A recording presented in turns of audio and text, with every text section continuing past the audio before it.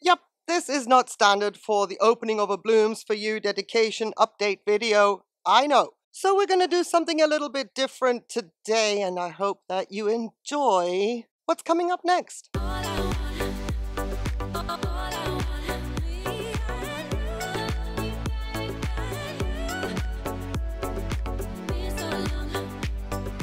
Footage I'm showing you is from early in the season when Cousin It was blooming profusely and beautifully and before Dum Dum here caused him to get some serious cold damage, which is a shame. But I have not exploited Cousin It enough this year when it comes to bloom dedication, so we're going to be looking at some older footage while he was in pristine bloom without cold damage. While I say thank you to everybody who has clicked on this video, Thank you to everybody for taking the time watching this video. It supports the channel immensely. And these blooms bloom for everybody that is not mentioned in this video today. I also use the opportunity for the opening of my Blooms for You videos to say thank you to all my Orchid Ninjas, but we're going to do something different today as well because I have some extremely special footage. I'm going to attach that at the end because we're going to be revisiting other blooms that have yet to be dedicated and well, I'm going to be catching up with all the blooms that I have footage for that I didn't get around to dedicating while the orchids were in bloom. We're going to start with the footage for the Orchid Ninjas to say thank you to all of them at the end of the video because Julian S. Sun left a comment which inspired this turn of events. So I hope you enjoy the blooms that are coming up. And once again, Cousin It bloomed for you if you're not mentioned here today. So thank you so, so much for your support. Renanthera citrina, you may think there's not much to see here, but the fact that she did bloom, huh, that's credit to the orchid because her conditions were less than ideal as she was producing the spike and even prior to that because the winter was dark, gloomy, and ick. So the fact that we have four blooms, which I would like to dedicate to Shauna and Sarada TS, well, that to me is a gift. So thank you to the two of you for your support on my channel, my Renanthera citrina. She blooms for you this season. Yes, the blooms could be much more elaborate, much more expansive. I could also have branching. I thought one day that we were getting there with this orchid because the size of her warrants a more abundant blooming.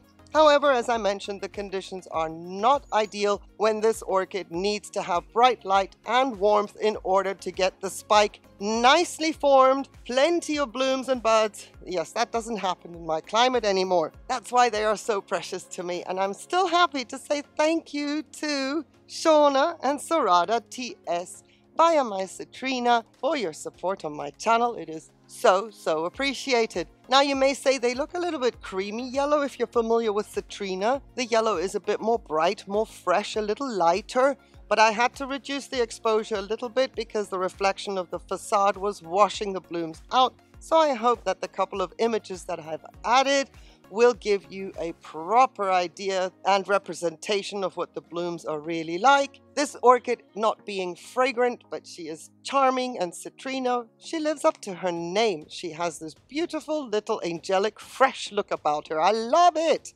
And the fact that she's alive. Whew, I love that even more. so thank you once again, Shauna and Sarada TS, for your support on my channel. It is greatly appreciated and I hope that you are doing well.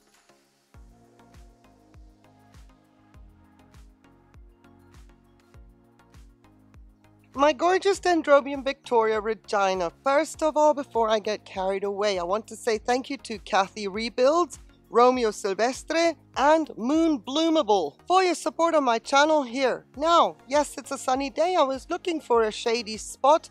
It's a little bit of a tight squeeze in the blooming alley, the whole reason being is what you're seeing is a very fuchsia, dark fuchsia kind of bloom. That is not representative of the actual color of the blooms of my Dendrobia Victoria Regina. She is a little bit more purple than that, and that is an understatement. but I thought it was a beautiful day. Why not bring her outside, see her in a different light, and I will be inserting images of her blooms so that you can pretty much get an idea of her actual color However, we always talk about cameras not being able to pick up certain colors, certain hues, and that happens to be true with the Victoria Regina as well. Let's just say her name is what it is, Victoria Regina. It's very royal, so if you can think of the most royal of purples that you can imagine and conjure up, uh, that is her actual color. And now in the sun, as to where I'm standing, she also has a beautiful satiny shimmer, like the cloaks of the royals. It's very, very beautiful. This is her second flush this year. I am super happy to see that she's doing so well. And currently, she's also growing roots out of the wazoo, at least out of all the growths going up and behind the mount. It is just wonderful to see how this orchid is thriving in my climate, which normally would be considered maybe too hot, too dry for her for maybe 50% of the season. But she is still in active growth on some growths. Some growths now have matured.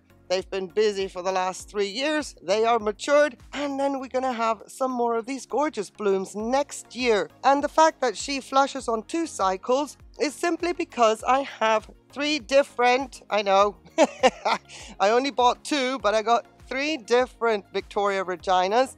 I wanted to make sure I had something in petto in case something were to go wrong because of course, again, my climate supposedly not conducive to a cool, cold grower. Anyway, hence I got two. Turns out when they each started to bloom, I have three different kinds of blooms, but each one of them is absolutely stunning and well, not fragrant. But again, what can you say? You can't have it all. You cannot have royalty in the house and then also expect all the trimmings. Well, let me rephrase that. Yes, you can, but when it comes to orchids, maybe we have to make some concessions. I'm just really happy that she is blooming again and allows me to say thank you once again to Kathy Rebuilds, Romeo Silvestre, and Moon Bloomable. Your support on my channel, being here, is so appreciated. It would be wonderful to see you more in the comments, but maybe that is asking too much. Your mere presence, the fact that your name showed up, means that you've been in the comments or you have subscribed, and I cannot thank you enough for that. It means a lot. It goes a long, long way. I hope you're all doing well in your part of the world. Once again, thank you so, so much for being here. My Dendrobium Victoria Regina, she blooms for you.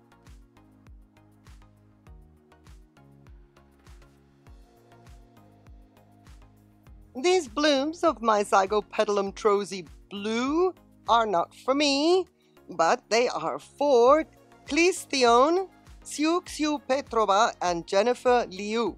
So, thankfully, we've got the zygo back to blooming again after it probably had a bit of a sulk from being repotted. Not really repotted, I only up-potted her. Yeah, and then she had a sulk. But this time around, we got ourselves a beautiful spike with some fabulous blooms with an amazing fragrance of cinnamon. It's a bit spicy, but there's a hint of sweet. It is delicious. I love the fragrance. And while she's in my blooming alley, while I'm potting around in there, ooh, she is at nose level and boy, oh boy, is it yum. anyway, the blooms last for quite some time. They've been around now for five weeks, but Seeing as the growth is starting to mature, that means also that the blooms are going to fade and then we're going to get ourselves a nice new growth with new roots, after which there will probably be another repotting or uppotting session in the year of 2023. We'll see how she fares in that pot. I just wanted to make sure that I don't hog my beautiful Zygopetalum blooms, that I don't say my. Instead, I say your Zygopetalum blooms. Clis Theon Xiu Xiu Petrova and Jennifer Liu. This Zygopetalum Trozy Bloom, she blooms for you to say thank you to all of you so, so much for your support on my channel. It is greatly appreciated. And I hope that you are doing well. Whether you're in the fall or you are in the spring as I am, I hope that you're doing well. Thank you so, so much for your support.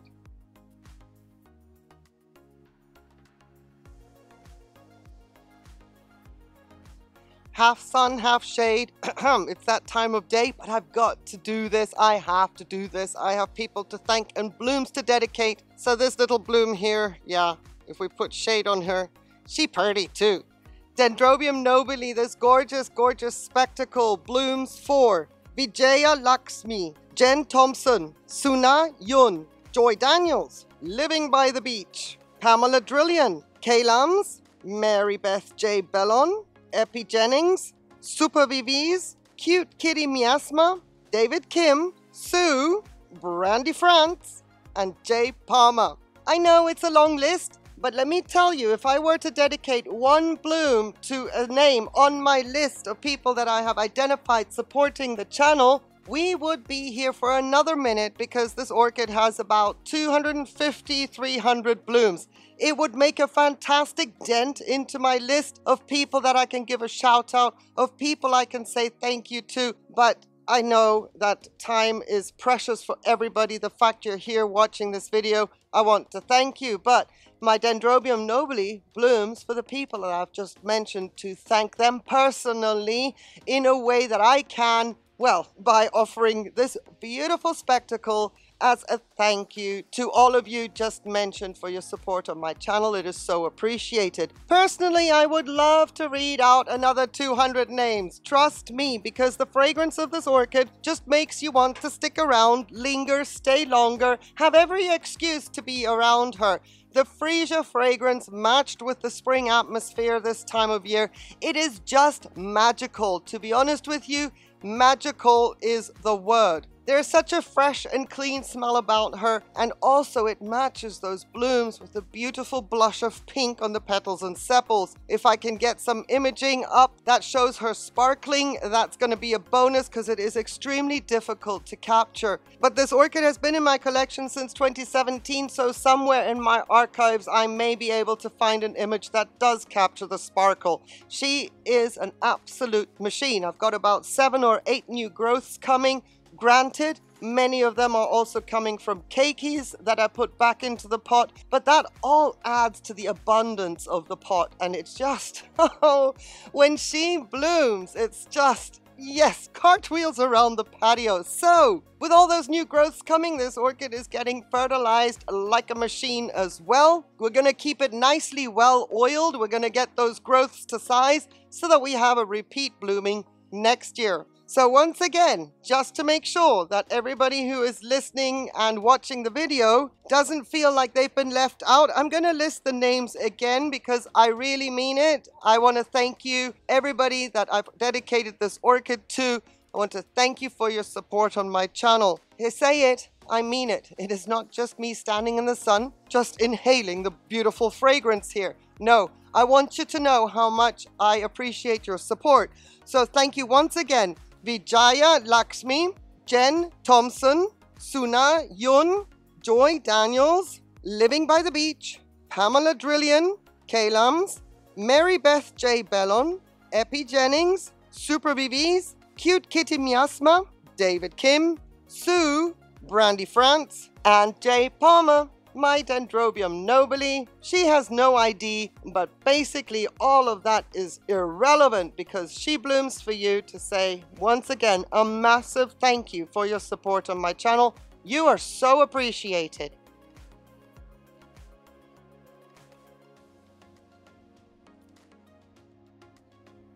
It's a little bit unfair of me to be standing here drinking in, kinda, but inhaling the perfume of my Dendrobium unicum while I say thank you to Pedro Danin Ogaro, KC, Myrna Scheffler, and Stance Punks for your support on my channel. Hey, Dendrobium unicum, nine blooms, they bloom for you. That's what this is all about. Finding names, identifying names, putting them on a list, eventually when orchids bloom, match them up with the names that come up next, etc., etc. Yours came up with the unicum let me tell you something, it is a pleasure to stand here. The blooms are now open for about three weeks in total, maybe four weeks. The last bud just opened. And this tangerine, let's say apricot-y kind of mix of a fragrance, it is a reminder of a tropical cocktail that you get as a welcome drink when you arrive from your long journey to your holiday destination. It is refreshing, it is inviting, it wants to bring you in closer because you can't get enough of it, you want more of it. And let me just tell you something, it doesn't stop. It goes from morning till evening, even on a cloudy day. So there's no need for things to be super warm, super sunny to smell this fragrance. Once you've inhaled the fragrance, you can then walk away and that perfume lingers in your nose. I don't know if you have it sometimes, I have it a lot, that I can smell something and it just lingers around you. Even while you've distanced yourself from the object of such magnificent perfume. yes, that's what this Dendrobium unicum does lives up to her color with her fragrance. My little one has a long way to go to become a specimen, but we're working on it. We're working on it. At least she is a reliable bloomer. What more can we ask of an orchid? Meanwhile, she's already working on her first new growth. And I say first because somewhere in the back of my mind, I'm thinking, surely you can do more. Or do we have to put you on a cork mount to see if we can squeeze a little bit more performance out of you? Time will tell. In the meantime, the blooming of my Dendrobium unicum of the year 2023 with its gorgeous, gorgeous, intricate colors, intricate lip, and the colors, the stripes, the perfume. I know, I'm being selfish, I'm rambling. It's in the air, I can't help myself. But I have to thank Pedro Dancin Orgaro, KC, Myrna Scheffler, and Stance Punks for giving me another excuse to be around and very close to this Dendrobium unicum because if I wasn't dedicating the blooms to you, I would probably have misted her once, twice during the day and walked away. And here I am once again, thanks to you. Your support on my channel is so appreciated. Thank you for that as well. It means a lot. Trust me, it means a lot. So thank you. Pedro Dancino Garo, KC, Myrna Scheffler, Stance Punks for being here and supporting the channel.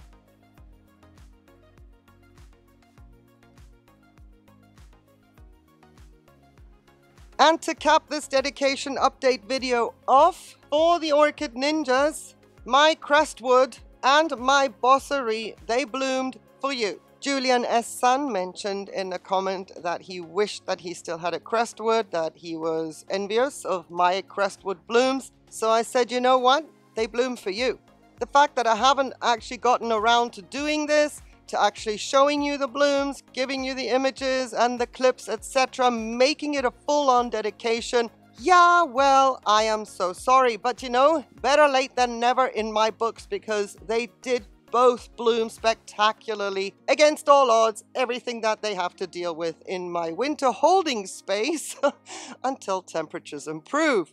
So Julian S. Sun, Orchid Ninja, let me tell you, thank you for your support on my channel. And a massive thank you as well to all the Orchid Ninjas that have given me their vote of confidence so early in the day that are supporting me with their subscription as a member, you have no idea what that means to me because I cannot verbalize it. I cannot explain it. I have limitations. If I start to go down that road, I start to get emotional, and I really would like to avoid that. But let me tell you something every time I see your name pop up with your little icons in the comments, in the live streams, it just it moves me. So know that you are appreciated. I can only put it this way without becoming a blubbering mess. The two Angraecoids, my two majestic giants of my collection, they bloomed for you. From the moment Julian S. Sun said what he said, I said, yep, that's it.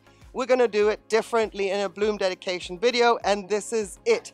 The fragrance of these two orchids match. So the blooms don't have a different fragrance. So we've got the jasmine, we've got the vanilla, and then there's a little bit, only on the crestwood, there's a little bit of a soapy note at the end, but that just ends in a fresh layer after you have taken in all the other layers, the jasmine and the vanilla. So I find the fragrance just remarkable. I think the fragrance of any Angraecoid, if it were to be a stinky bulbophyllum fragrance, I would love the fragrance. Anyway, I am that biased when it comes to these orchids, to this genus. Bring them on in size, trying to grow them well. It is a challenge.